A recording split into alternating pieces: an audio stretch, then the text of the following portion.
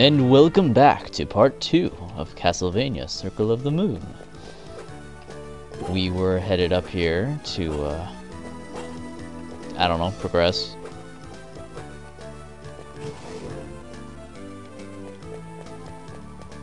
And we'll go down here first.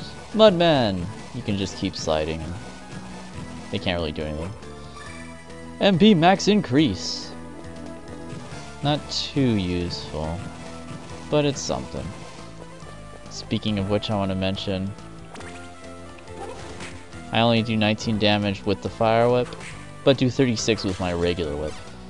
Um, enemies not only have weaknesses, but also resistances. So, using the fire whip the whole way won't always be helpful. So I'm just going to leave it off.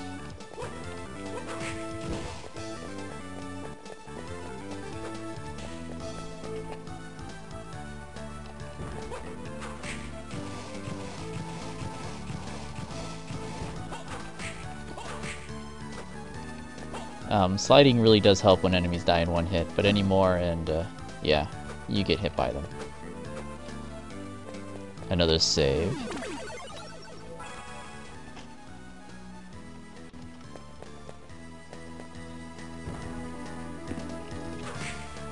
Yee.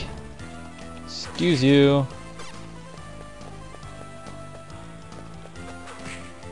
And here are gremlins. They just, ouch fly from one side of the screen to the other. And then throw the occasional spear. Ouch. So far, they're they have 100% accuracy on me. And here's Hot Max Increase.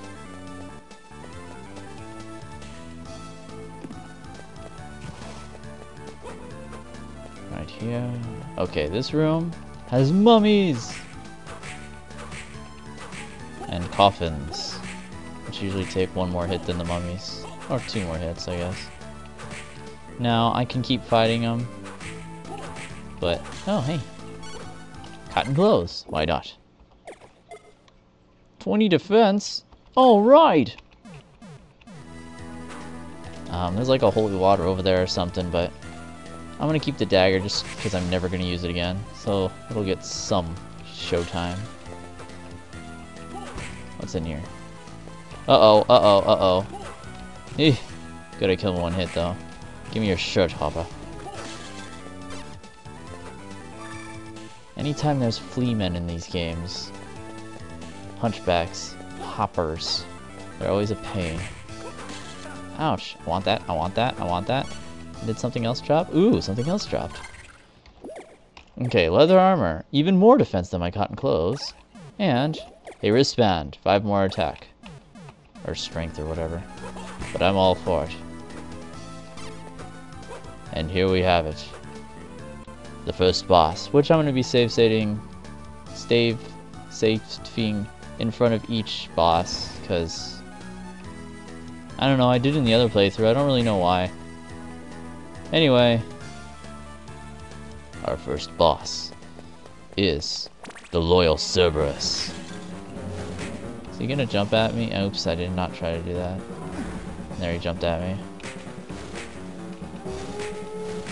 When he howls, he'll change form into this laser beam, hyper beam shooting form. Now he howls, he's invincible right now, and he's blue. Shoots out these lightning bolt thingies. And I'll just sit back here and throw daggers at his heads. One damage per head. Ha ha ha. Ouch. Uh-oh. Oh, I'm safe right here. Um, when you first fight him, he is a challenge and he shows you that this game means serious business. But after you learn what to do, then he's more manageable.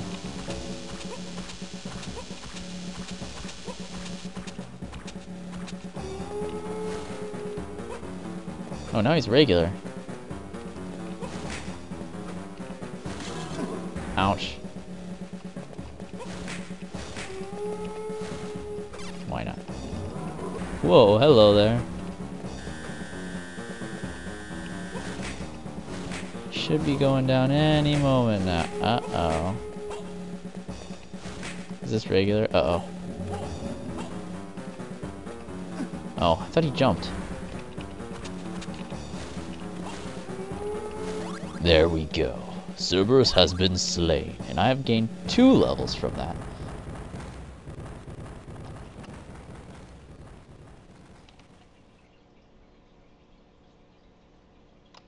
I don't know if it was lagging or if he really took that long to die, but it was a nice death animation.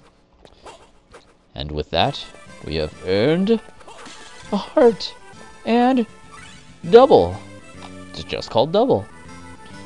Double, another jump can be performed while in midair. And right off the bat, we got double jump. And I like how you get like a glow around you. I like how each double jump in these games has something different. Like some of the games you like jump off platforms, and this one you glow. Symphony of the Night, you uh, ooh a potion. You get your little wings on your cape to flap up. Why am I in this room? I'm gonna go back to the save and heal. That was a good move that I did there. Maneuver. Alright, that's not the right room. I'm getting lost. Here we are.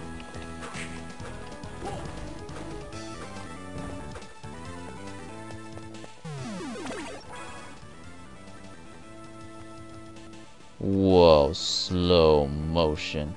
Sometimes when I hit speed, it does this. Oh, hey, it fixed. So, that's something. Did he throw that bomb straight up? anyway, now we have double jump. And if you remember, there's plenty of places to use double jump at. But let's keep going. The mummies! Now they die in two hits. Ouch, coffins still take a lot.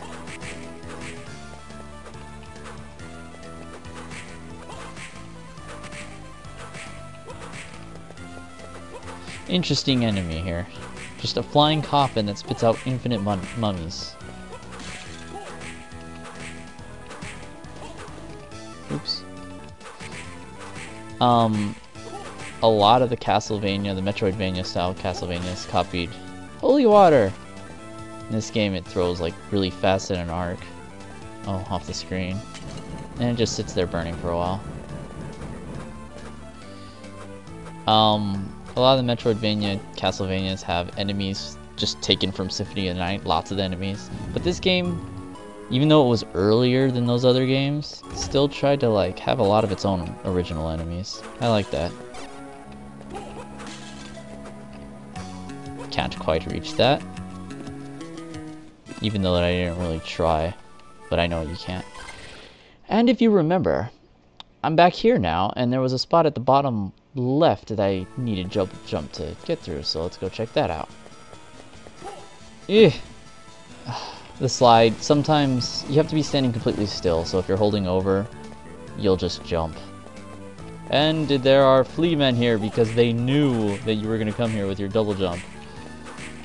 And they're hard. They're harder than those hoppers. Okay, well, they're not hard. They take two hits, but they're annoying enemies. I don't like them. Would you go... Give me that. Would you go away? Level up on your face. More. Get over here.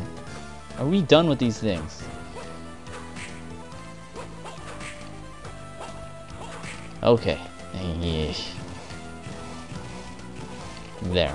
It. Ooh, an axe. I don't want it though. MP max increase. Sometimes you can whip them and then sometimes they duck enough where you can't. Ooh. Oh. Now these brain floats. Can't really do anything with them yet. Eventually you can freeze them and use them as platforms to get up there. Gonna have to try that later. I'm half dead, thanks to those stupid flea men.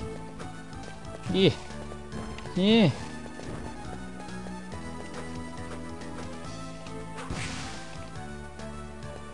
Alright, I think that's it. Actually, there's a save. I'm gonna go save and heal. Kind of forgot that that was right there. Yeah. Revenge! You die too, because I don't like the way you look. Alright.